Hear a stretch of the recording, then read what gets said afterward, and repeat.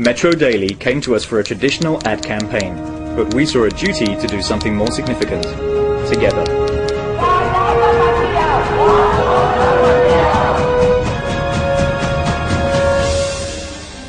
中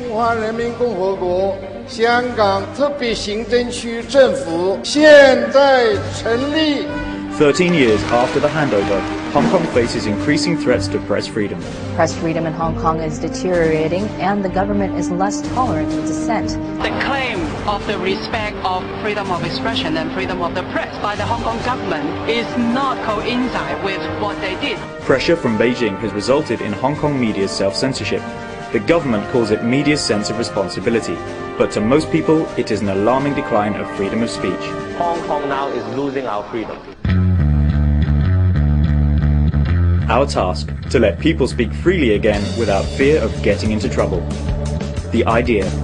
We created Future Daily, a paper that features news people think will happen in 18 years. We then published it on April Fool's Day. Our futuristic theme and April Fool's launch acted as a smokescreen for people to speak freely. You can't jail someone over a fictional article on April Fool's Day, can you? How?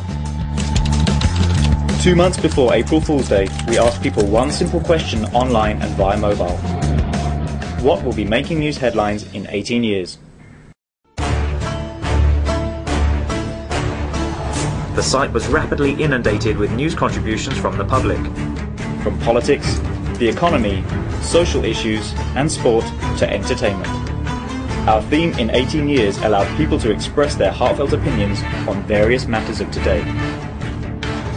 We receive countless articles on topics constantly silenced in traditional media.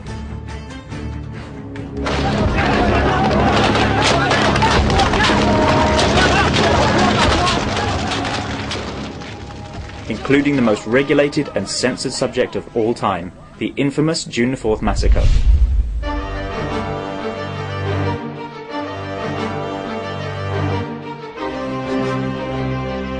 Conflict between China and Taiwan.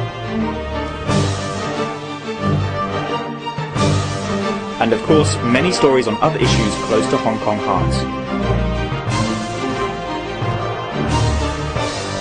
We created a truly democratic platform. The people were our only editors. They could decide what stayed on the front page with the power of their votes.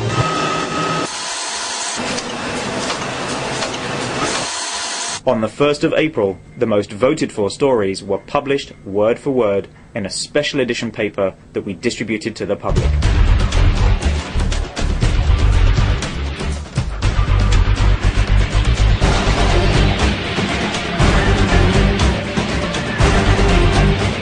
With self-expression as the only incentive, we received overwhelming feedback from the public, politicians, and of course our fellow journalists, who now felt empowered to speak freely. 第一次睇呢份报纸咧，就觉得哇极其颠覆市民出版嘅一个报纸，市民负责嘅一个报纸，的确系一个 reinvention 咯。